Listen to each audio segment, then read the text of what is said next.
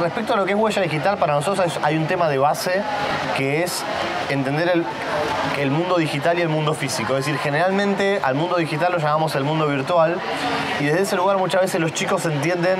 la idea de virtualidad es algo más abstracto, algo que no existe. Entonces, al empezar a ver a Internet como algo abstracto, algo inexistente, muchas veces bajamos la guardia o, no,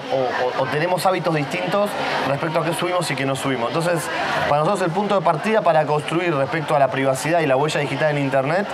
es entender que el mundo real está compuesto por el mundo físico y el mundo digital. Y que estos dos mundos conviven con, similitudes y diferencias, pero que todo lo que pasa en el mundo digital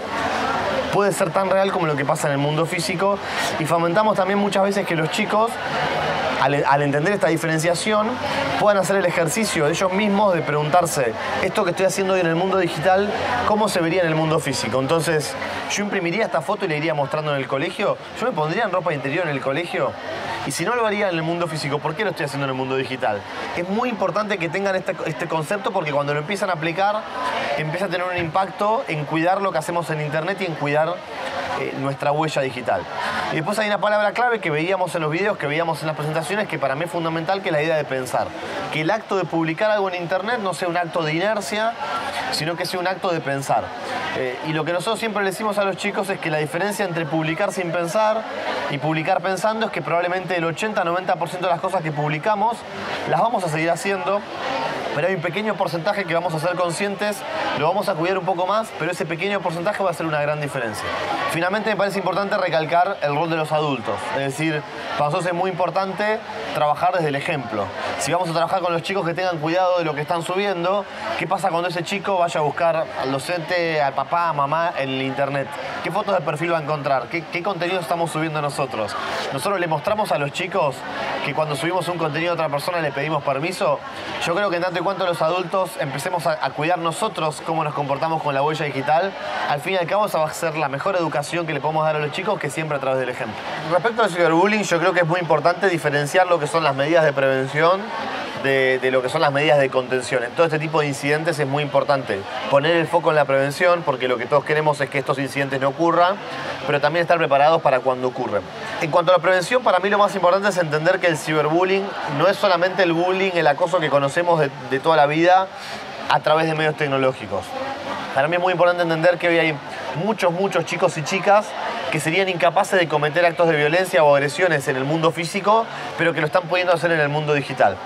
Y esto viene arraigado de esta idea de que en el mundo digital las cosas no pasan, de que da lo mismo lo que pongo, lo que no pongo. Entonces para mí es muy importante. Por supuesto que hay que seguir trabajando con aquellos chicos que son violentos y que tienen una tendencia a cometer acoso, pero me parece que hay un, hay un trabajo más de base, que es asegurarnos que todas esas personas que serían incapaces de cometer actos de violencia en el mundo físico, entiendan que en el mundo digital tienen que tener esa misma conducta y que ser una buena persona no es algo que solamente tenemos que limitar al mundo físico, sino que también tenemos que cuidar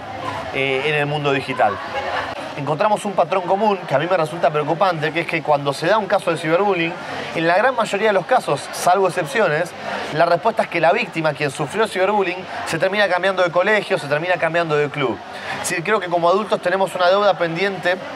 respecto a cómo contener estos casos de forma tal que eh, cuando se den, encontremos una contención que explique sanar como grupo, que implique que los victimarios se hagan responsables, que las víctimas entiendan que lo que pasó puede, puede superarse. Y creo que ahí nos falta un poco, insisto, encontrar contextos más sanos donde trabajemos el problema sin tratar de evitarlo, en tanto y cuanto eh, no se trabaje con los victimarios, eh, digamos, para que aprendan a hacerse responsables. También entender que si los chicos están cometiendo estos actos, hay una posibilidad de aprendizaje y así como tienen que hacerse responsables de lo que hicieron, hay una posibilidad de aprendizaje y también en parte son víctimas. Creo que hay todo un trabajo para hacer para contener estas situaciones que va a hacer que a la larga se terminen minimizando. En el grooming aparece un componente que no es menor, que ya no es un tema entre chicos, sino que hay un adulto, un acosador que está cometiendo un delito, porque el, grooming está tipificado en el Código Penal.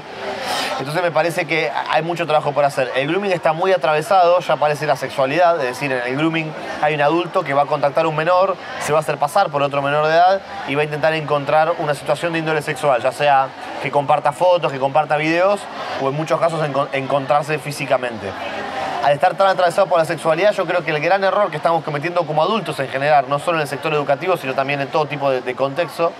es que estamos llegando tarde a trabajar la problemática. Es decir, como adultos estamos tan atravesados por tabús o, vi- o vicios culturales respecto a qué edad podemos hablar de sexo, que muchas veces trabajamos estos temas en la secundaria, cuando los chicos tienen 14, 15 años, pero cuando uno va a la fiscalía, si ve quiénes son las víctimas de grooming, las víctimas de grooming tienen 9, 10, 11, 12 años, es es el segmento que son más propensos a ser víctimas de grooming. Y muchas veces como adultos nos resulta incómodo hablar de estos temas a esas edades y llegamos tarde a la problemática. Entonces me parece que el principal desafío respecto al grooming es entender que para que los chicos no sean víctimas tenemos que empezar a hablar de esto desde edades más tempranas. Y aunque quizás un chico de 6, 7 años no se le puede explicar que es un pedófilo, si a un chico de 6, 7 años se le puede empezar a hablar de intimidad y privacidad, se le puede empezar a hablar de cuidar el cuerpo. Hay un montón de cuestiones transversales a la, a la sexualidad que hay que empezar a trabajar para que cuando llegan a las edades que son víctimas ya estén preparados para tener cuidado. No hace falta que los chicos puedan resolver cualquier problemática de grooming, pero sí hace falta que sean capaces de identificar cuando están chateando con una persona que quizás no es quien dice ser, para no enviar material que los comprometa y para pedir ayuda a tiempo. Hay que trabajar tanto en la prevención como en la contención y otro de los grandes problemas con el grooming es que no se lo denuncia. A pesar que desde el año 2013 hay una ley que tipifica el grooming en el Código Penal, la gran mayoría de los casos de grooming se intentan resolver sin mediar una denuncia judicial y esto por supuesto que termina favoreciendo a quienes llevan adelante actos de grooming porque es mucho más difícil investigarlos y condenarlos. Por lo tanto es muy importante, más allá de informarse y dialogar para la prevención, en el caso que ocurra, hacer la denuncia. Y por último, cuando un menor de edad, un nene, una nena,